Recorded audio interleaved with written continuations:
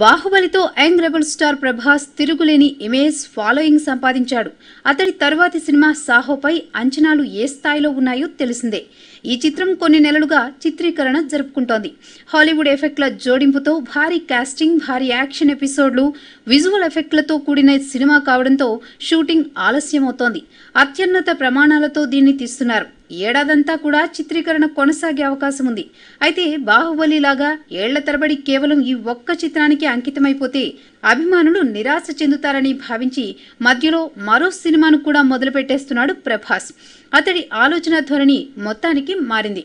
జిల్ సినిమాతో దర్శకుడిగా పరిచయమైన రాధాకృష్ణ కుమార్ దర్శకత్వంలో ప్రభాస్ ఓ సినిమా కమిట్ అయిన సంగతి తెలిసిందే.